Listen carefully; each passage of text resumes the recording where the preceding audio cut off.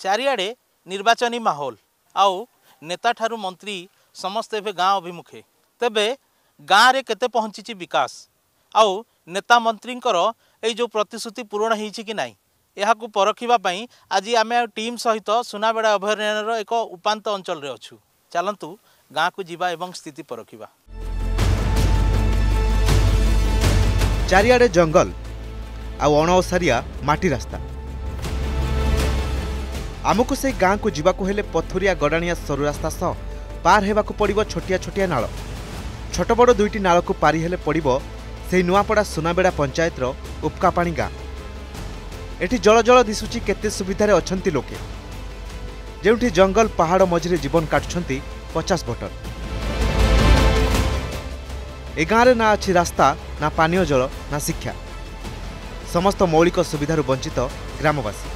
ଏବେ ଜଙ୍ଗଲ ଭିତରେ ଜଙ୍ଗଲୀ ମଣିଷ ଭଳି ଅତି ଦୁଃଖ କଷ୍ଟରେ ରହୁଛନ୍ତି ଗ୍ରାମବାସୀ ରୋଡ଼ ରାସ୍ତା ବିଜୁଳି କିଛି ନାହିଁ ବହୁତ ତକଲିଫ ଅଛେ ଅସୁବିଧା ବି ଅଛେ ଇଲେକ୍ସନ ମାନେ ବି ନି ଆସନ୍ ଯେ ଭୋଟ ମାଗି ଛୋଟ ଛୋଟଟା ମାନେ ଆସନ୍ ଦେଖୁଛ ତ ରୋଡ଼ ନା ରାସ୍ତା ଆମେ ପିଇବା ଲାଗି ପାଣି ବି ନେଇ ନା ଯେ କେନ୍ତା କରି ଚଲମା আপনা নিজরে কুয়া গোটে খনলু আর সেটা খাওছু হেতি গা দামুর হেতি কপড়া লতা সবুর ଖାଲି ରାସ୍ତା ନୁହେଁ ତପେ ବିଶୁଦ୍ଧ ପାଣି ପାଇଁ ବି ଏମାନେ କଲବଲ। ଫଳରେ ଏମାନେ ନାଳର ମଇଳା ପାଣି ପିଇଥାନ୍ତି। ଏଠି ବିଜୁଳି ଆଲୁଅ ସାତ ସପନ। ସ୍ୱାସ୍ଥ୍ୟ ସରକାରୀ ସୁବିଧା ନଥିବାରୁ ବୁଲା ଡାକ୍ତରଙ୍କ ଭରସାରେ ଗ୍ରାମବାସୀ। ଆଉ ଦେହ ଅତି ଗୁରୁତର ହେଲେ ଖଟିଆରେ ବୁହା ହୋଇ ମେଡିକାଲ ଯାଇଥାନ୍ତି ରୋଗୀ। ତଥାପି ପ୍ରଶାସନ କାନରେ ପଡ଼ୁନି ଏମାନଙ୍କ ଦୁଃଖ। ପାଠ ସାଠ ପଢ଼ମେ।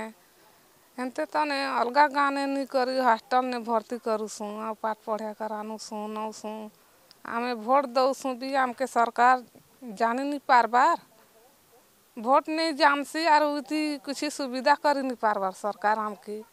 आमे मूर्ख हेनु हेनु, आमार छुआ पिला भी मूर्ख हो जाइसन जे क्या लागे है सरकार बनी से? पब्लिक सेवा तो करी नी पारबार उपका पैनरे आज आपण देखले आज्ञा इठाना रोड रास्ता, इठाना पानी समस्या बिजली समस्या, दुनिया भर जेन समस्या मैंने अच्छे इटा आम प्रशासन के अनेक थर जनईछू ଆରୁ ଇଟା ବି ନିସେ ଇ ଗାଁର ନିନ ପୁରା ନୂଆପଡ଼ା ଜିଲ୍ଲାରେ ଆରୁ ଅନେକ ଗାଁ ଅଛେ ଯେନ୍ ଜାଗାରେ ଲାଇଟ୍ ବିଜୁଳି ପାଣିର ସୁବିଧା ସରକାରର ବାଇଶ ବର୍ଷର ଶାସନ କାଳରେ ବି ଆଜି ଯାଏଁ ସେ ସୁବିଧା ମାନେ ନେଇ ହେଇପାରବାର ନିର୍ବାଚନ ଆସେ ନେତା ମନ୍ତ୍ରୀ ମାଳ ମାଳ ପ୍ରତିଶ୍ରୁତି ଦିଅନ୍ତି କିନ୍ତୁ ଏ ଅଞ୍ଚଳକୁ ଦେଖିଲେ ଲାଗୁଛି ଏଠାକାର ଭୋଟର ପ୍ରତିଶ୍ରୁତି ପାଇବା ତ ଦୂରର କଥା ଆଜି ପର୍ଯ୍ୟନ୍ତ ଏଠି ନେତା ମନ୍ତ୍ରୀଙ୍କ ପାଦ ବି ପଡ଼ିନାହିଁ ତେବେ ଦେଖିବାର ବାକି ରହୁଛି ଏ ତ୍ରିସ୍ତରୀୟ ପଞ୍ଚାୟତ ନିର୍ବାଚନ ପରେ ଏହି ଉପକାପାଣି ଗାଁକୁ କେବେ ବିକାଶର ପାଦଚିହ୍ନ ପଡ଼ୁଛି ନୂଆପଡ଼ା ଜିଲ୍ଲା ଉପକାପାଣି ଗାଁରୁ ଭିଡ଼ିଓ ଜର୍ଣ୍ଣାଲିଷ୍ଟ ସୁମନ୍ତଙ୍କ ସହ ଯୁଧିଷ୍ଠିର ପଟେଲ ଓ ସତରୂପା ସାମନ୍ତରାୟଙ୍କ ରିପୋର୍ଟ